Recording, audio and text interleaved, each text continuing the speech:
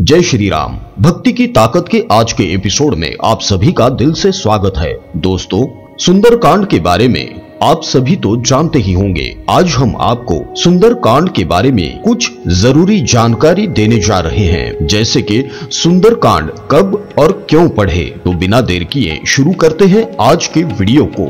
लेकिन उससे पहले आपको बता दें, यदि आप हमारे नए दर्शक हैं तो कृपया हमारे भक्ति की ताकत इस यूट्यूब चैनल को अवश्य सब्सक्राइब कीजिए। साथ ही बेल आइकॉन प्रेस कर दीजिए ताकि हमारे वीडियो सबसे पहले आप तक पहुँचे।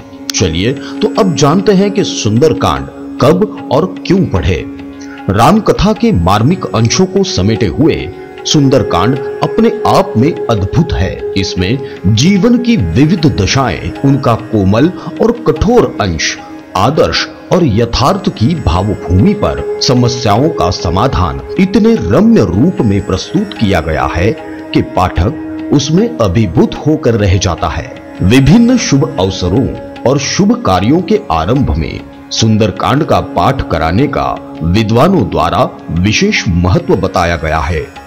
सुंदरकांड पाठ कराने से मनोवांछित फल की प्राप्ति होती है, तथा आत्मा की शांति के साथ ही घर में सुख समृद्धि भी होती है, ऐसा माना जाता है। धर्म विशारदों की ऐसी मान्यता है कि सुंदरकांड के पाठ से महावीर हनुमान अति शीघ्र प्रसन्न हो जाते हैं। और उनकी कृपा सरलता से प्राप्त होने लगती है।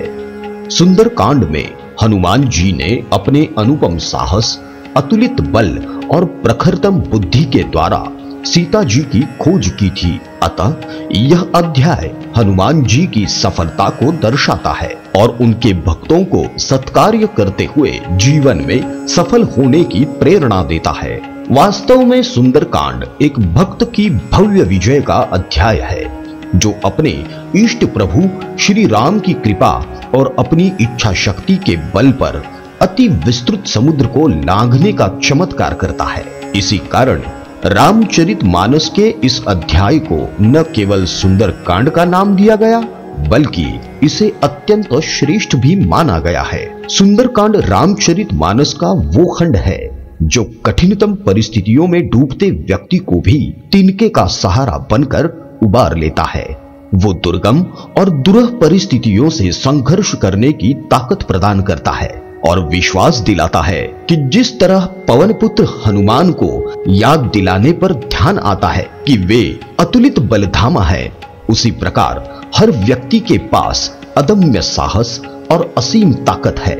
ज़रूरत है कि हम इस शक्ति को पहचाने और किसी तरह का समझौता किए बिना प्रतिकूल परिस्थितियों से लोहा लेने के लिए तैयार रहें। जिस तरह भगवान हनुमान के मार्ग में बाधाएँ आती हैं और प्रलोभन भी मिलते हैं, मगर वे इन दोनों से तटस्थ अपने लक्ष्य की ओर उन्मुख रहते हैं। सुंदर कांड का पाठ कर व्यक्ति भी अपने भीतर उसी तरह की तटस्थता और दृढ़ता का विकास करता है, जो उसे अपने लक्ष्य से भटकने नहीं देता है। मगर तकलीफ़ इस बात की है कि आज के समय में ऊर्जा के इस अपरिमित भंडार को खोलने और पढ़ने के प्रति समकालीन पीढ़ी के भीतर उस तरह का आकर्षण नहीं दिख रहा है। सुंदरकांड रामचरित मानस का सबसे मनोहर अध्याय है। जिस तरह महाभारत का विराट पर्व सर्वोत्तम अंश है, उसी तरह श्री रामचरित मानस में सुंदरकांड सबसे अच्छा अंश है।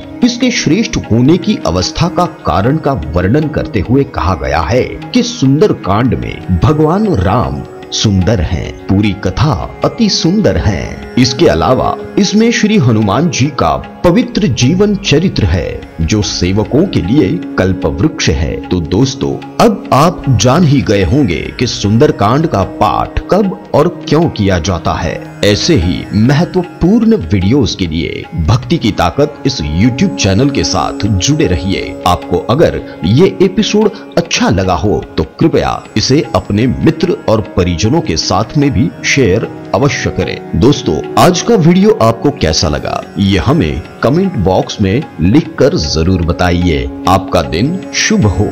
जय श्री राम।